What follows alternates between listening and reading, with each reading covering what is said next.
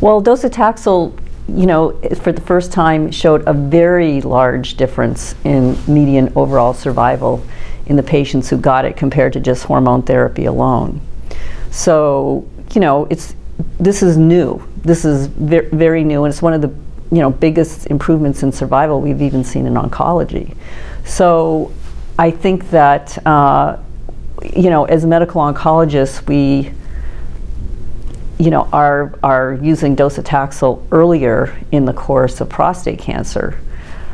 We do have to be a little cautious, though, about what impact this might have down the line because we've usually used docetaxel for metastatic castration-resistant disease.